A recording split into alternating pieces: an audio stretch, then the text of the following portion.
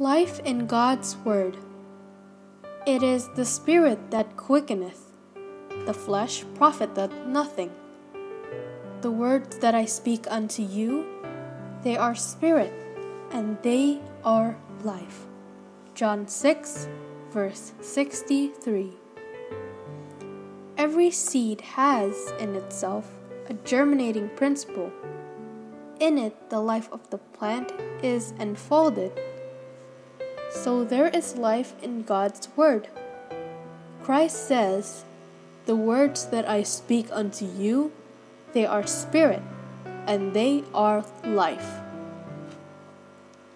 In every command and in every promise of the Word of God is the power, the very life of God, by which the command may be fulfilled and the promise realized. He who by faith receives the Word is receiving the very life and character of God. By partaking of this Word, our spiritual strength is increased. We grow in grace and in a knowledge of truth. Habits of self control are formed and strengthened. The infirmities of childhood, fretfulness, willfulness, selfishness, hasty words, passionate acts disappear, and in their place are developed the graces of Christian manhood and womanhood. In its power, men and women have broken the chains of sinful habit. They have renounced selfishness. The profane have become reverent, the drunken sober, the profligate pure.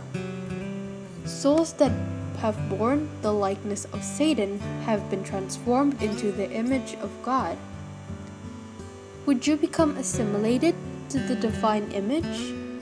Would you drink of the water which Christ shall give you, which shall be in you a well of water springing up into everlasting life? Would you bear fruit into the glory of God? Would you refresh others? Then, with heart hungering for the bread of life, the Word of God, search the Scriptures, and live by every word that proceedeth out of the mouth of God. Your soul's sanctification and righteousness will result from faith in the Word of God, which leads to obedience of its commands. Let the Word of God be to you as the voice of God instructing you, saying, This is the way, walk ye in it. Isaiah 30, verse 21. Christ prayed, Sanctify them through thy truth. Thy word is truth.